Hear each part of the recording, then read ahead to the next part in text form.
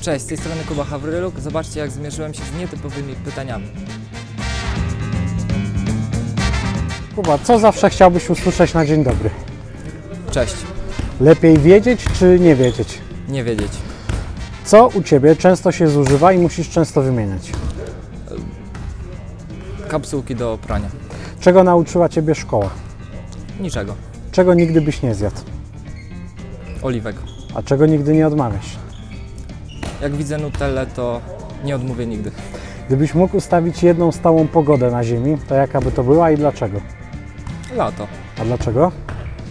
Lubię słoneczne dni. Jakie najmilsze słowo usłyszałeś w życiu? Kocham Cię.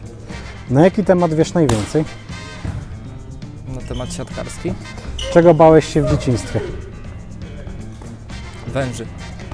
Na co bardzo łatwo Ciebie jest namówić?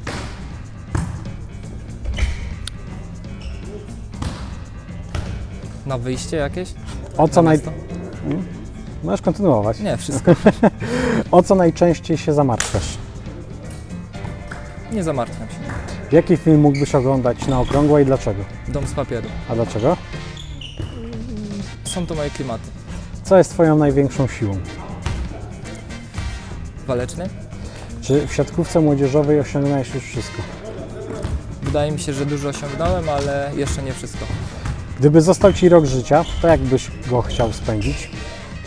Zwiedziłbym na pewno świat. Gdybyś miał gadającą papugę, to jakich trzech słów po polsku chciałbyś ją nauczyć?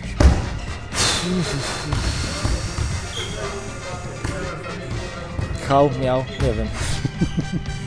Jaka jest Twoja ulubiona, ale obciachowa piosenka? Obciachowa.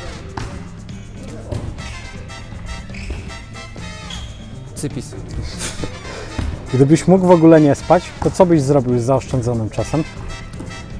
Pewnie bym odpoczywał, oglądał seriale, filmy. Czego brakuje Ci do pełni szczęścia? Wydaje mi się, że jestem szczęśliwy. Dziękuję ślicznie. Dzięki.